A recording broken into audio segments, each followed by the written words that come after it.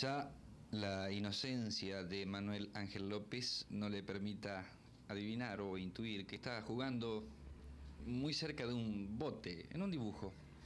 Un bote que en este caso significa recuperar una vida, recuperar un hombre, recuperar un esposo y un padre. Señor Alfonso López, usted es sobreviviente del Isla de los Estados. Sí. Además está decirle que a nosotros nos interesa el relato que usted puede hacer de todo lo que tuvo que pasar. Bueno, el relato es. es, eh, yo lo- el relato era un- el día 10, lunes 10, a las 21 y. hasta la- a las 22 y 15 más o menos estaba en la cama, estaba leyendo una, una novela y escucho, especie, escucho un cañonazo. Eh, medio nos, ya nos me alarmé, que nos levantamos, cuando salgo al pasillo ya se escucha otro cañonazo más. Cuando usted dice que se escuchan cañonazos son los impactos el, sobre el impacto, barco. el impacto que se escucha sobre el barco, el primero, que ya medio ya me alarmé, pero sobre, ah, sobre enseguida otro más, que en ese salimos al pasillo ya, los marineros que dormían del lado de estribor,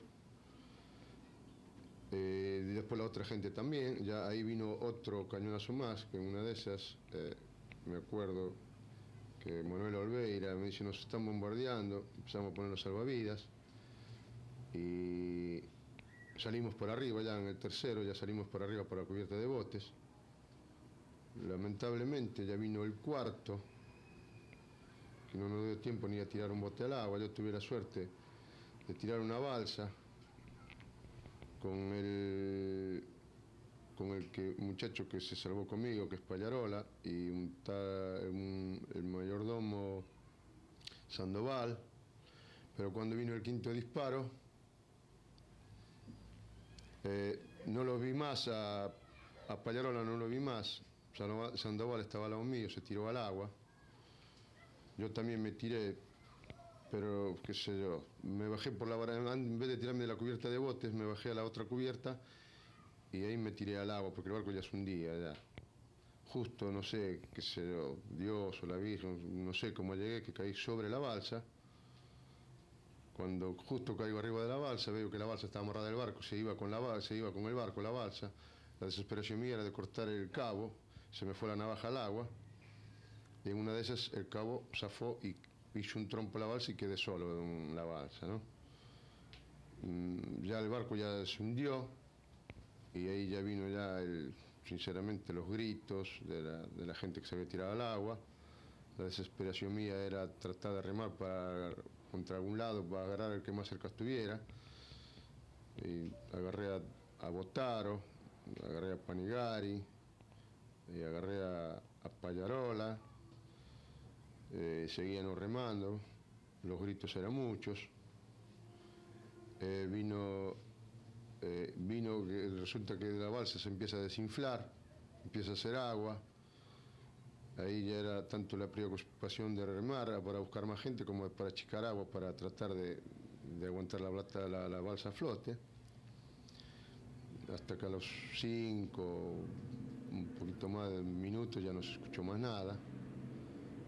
Seguimos chicando agua, quedamos al garete, estábamos muy cansados. Después aparecimos cerca de la costa. Esto ya no sé cuánto tiempo había pasado porque no, teníamos ni idea. Empezamos a remar para la costa hasta que llegamos a la costa. Llegamos a la costa, casi los cuatro, la balsa llena de agua, la gente muy cansada, estábamos muy cansados.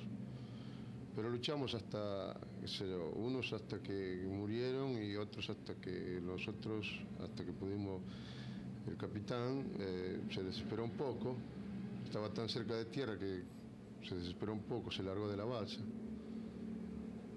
Y yo le decía que no se fuera de la balsa, que, era un- que, no se fuera, que se largó y en vez de nadar para tierra se empezó a llevar la corriente, lo empezó a llevar a, a tirar por afuera.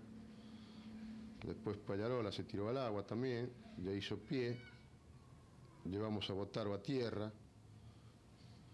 Después yo me tiré al agua también. Primero, primero él llevó a Botaro a tierra antes de yo tirarme al agua, porque Botaro también estaba muy cansado.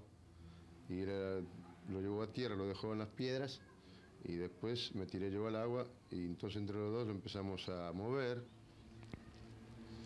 No, estaba muy, muy duro, muy, mucho frío, había mucho viento, mucha lluvia. Y al- calculo que ni cinco minutos nos ya quedó, le agarró como si fuera un show así, medio quedó duro. Después, con la fuerza que teníamos, que tratábamos de tener mucha fuerza en ese momento para poder llegar, lo llevamos para tierra, bien arriba, para que la marea no, no lo, no lo sacara. Y ahí estuvimos hasta las una y media de la tarde, hasta que decidimos buscar un refugio. Y vimos una cabaña a las 10 de la mañana, entonces dijimos que si a la tarde no pasaba nada, que íbamos, llovía mucho. Y empezamos a caminar y llegamos a una cabaña a las cinco y media de la tarde. Ahí había un, hay un galpón que es de lana, había una casilla, llegamos todos mojados, imagínense que tuvimos la suerte de encontrar un poco de leche en polvo, había un poco de mermelada, había una especie de tipo margarina, había un producto así como si fuera Quaker. Y con eso nos fuimos manteniendo los seis días. Ahí, eh, en ese momento, ustedes ya consideraban que estaban a salvo. No, no, eh, sí, no a salvo, pero por lo menos ya teníamos, ya estábamos, eh, estábamos refugiados del frío, aunque no había ropa así disfrazada ni nada, pero había arpilleras, había lana, y ya nos pudimos sacar la ropa para secarla. Y después tomábamos lo que no pudimos nunca encender eh, fuego porque no teníamos fósforos. Cuando sienten el primer cañonazo que les pega al buque que ustedes iban, ¿qué es lo que piensan? ¿Qué es lo que se animan a imaginar? ¿Podían pensar que los estaban atacando realmente ustedes? Porque era un buque que no estaba artillado, ¿verdad? ¿Cómo? Era un buque que no estaba artillado, que no, No, estaba no, armado. no, no, no, no, no, eh, no, no, no. Éramos todos civiles y lo único que llevábamos eran víveres nada más, porque no hasta ni, ni llevábamos ni, ni gente así mi- militar a bordo, así ni con armas ni con nada, éramos, solamente eran víveres. Sí, sí, cuando sentimos el primer cañonazo, y en el segundo, cuando ya salimos al pasillo, ya sabíamos que nos estaban cañonando a nosotros ya. Me acuerdo como si estuviera en ese momento ahí, que Olveira eh, me dice que nos, estaban, nos están cañoneando. Y por eso le digo que sabíamos que nos estaban bombardeando.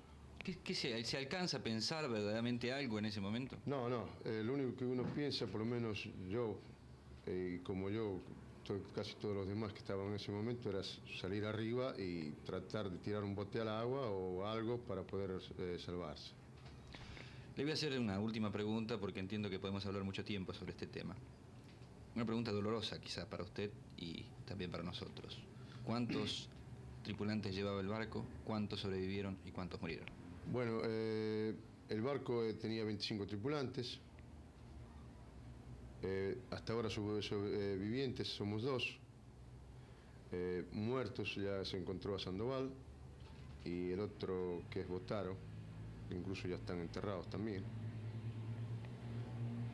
Y de Panigari puedo decir, eh, porque lo vi, lo vi cuando se me fue de la balsa, se largó de la balsa, y después de los otros sé que había muchos gritos, que uno gritaba de acá, otro gritaba de allá, pero qué sé yo, después están desaparecidos, son 21 hasta ahora, así que no. Le agradecemos mucho su descripción, fue muy amplia y no, no, muy Al completa. contrario, ojalá que haya más sobrevivientes, porque yo nunca pensé que, la- yo creo que la gente pensaba que tampoco nosotros que ya no estábamos vivos, sin embargo estuvimos en una isla seis días, así que espero que Dios que haga otro, como hace tantos, que haga uno más y que haya alguno más vivo, aunque sea en cualquier isla por ahí, porque hay, hay- siempre hay agua, hay de todo, así que, qué sé yo, espero que Dios haga- siga haciendo milagros como hizo conmigo. Muchísimas gracias, señor Alfonso No, López. al contrario.